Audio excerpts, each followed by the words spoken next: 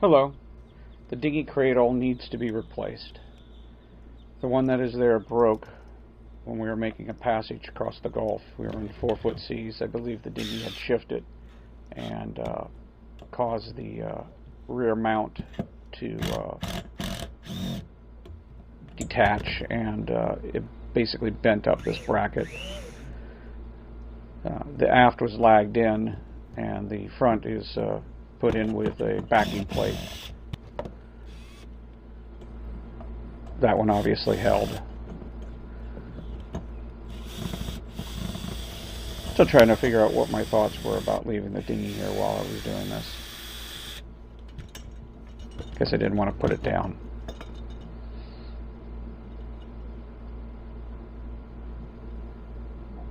But eventually I did. So on the uh, starboard side, we have a couple of screws that uh, needed a little persuasion here with a pair of vice grips.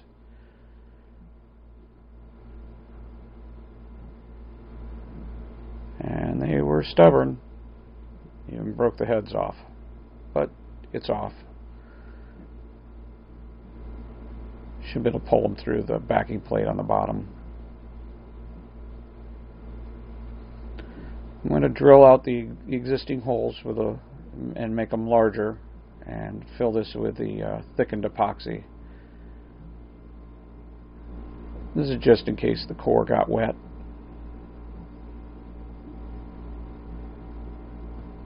It'll be starting dry. Here's my uh, thickened epoxy. Put this in all the holes and at some point in the future we'll repaint this deck. But for now I'm going to make it watertight.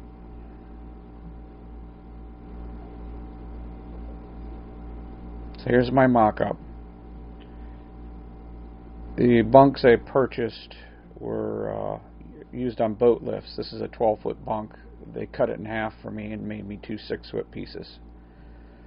So I'm using uh, quarter inch aluminum plate and quarter inch aluminum L brackets to uh, build this and mount it to the deck.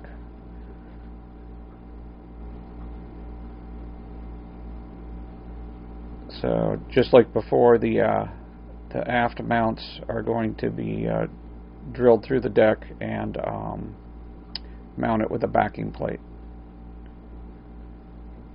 And Again, I'm going to make larger holes and I'm going to refill them with uh, thickened epoxy.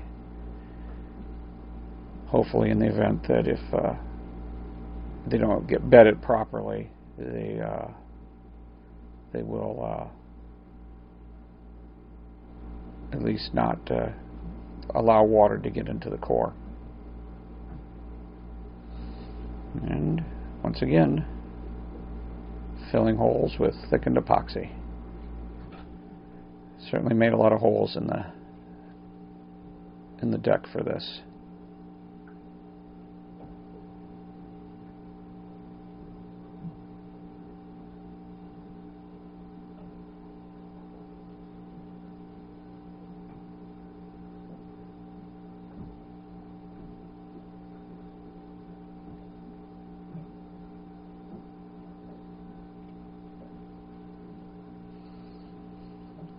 So now for the final install.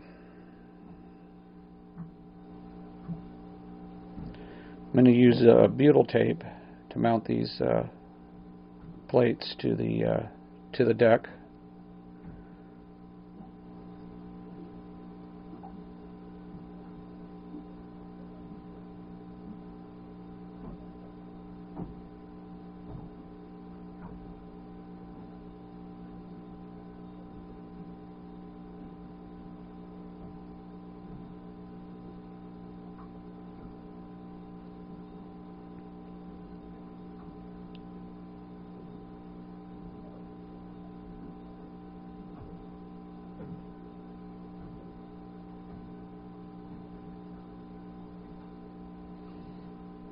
And I've bedded the uh,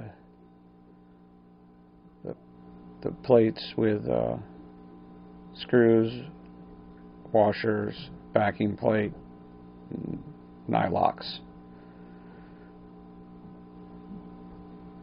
I'm also treating the stainless steel hardware so that uh, we minimize any corrosion between the aluminum and stainless steel.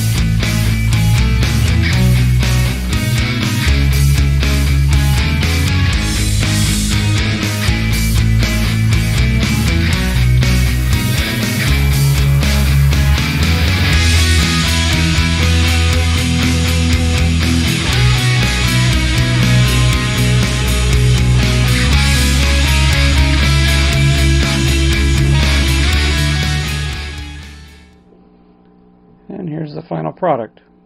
Everything's mounted, bedded in place.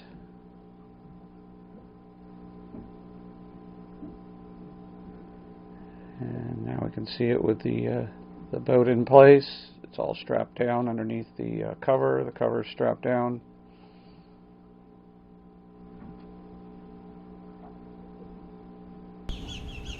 There's a view from the deck dock.